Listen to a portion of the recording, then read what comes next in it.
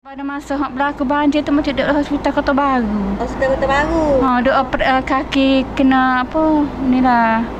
Dia macam kata kecil mani. Pada masa tu tu mak cik tinggal lah anak dua orang. Tak dengar kabar berita. Tak tahu anak mati ke hidup masa tu. Ha, mak cik teriak lah nak oyak kan. Ha, nak, nak tahan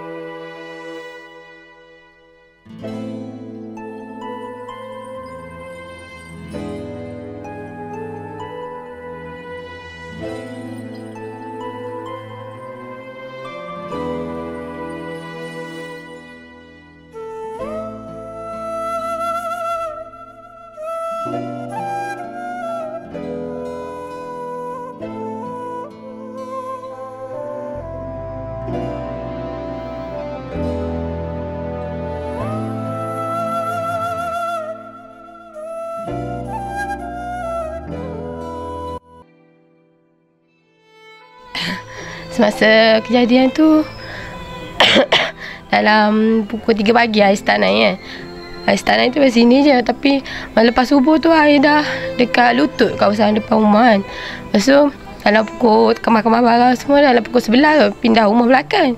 Rumah belakang tinggi sikit kan. Lepas tu tunggu bot semua siap kan. Dalam pukul 3 baru pindah dua atau bukit dekat Tiga tu kan. petang. Ha, 3 petang. Ha, pindah duduk sana. Memang air kat sini cepat naik kan. Macam tu lah. Masa duduk atas bukit tu, uh, ada kemah. Kebetulan buat makan kat rumah itu ada lagi kemah.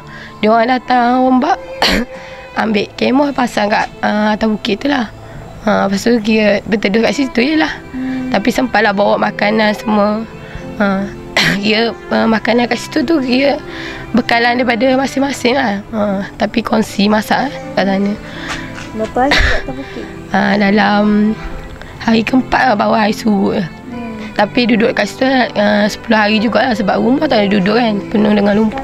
Duduk. Ha, sekarang tinggal kat sini lah. Sementara. Ha, uh, asalnya ni pasar ayam. Ha, lepas tu kira kat sini boleh buat tempat berteduh lagi lah.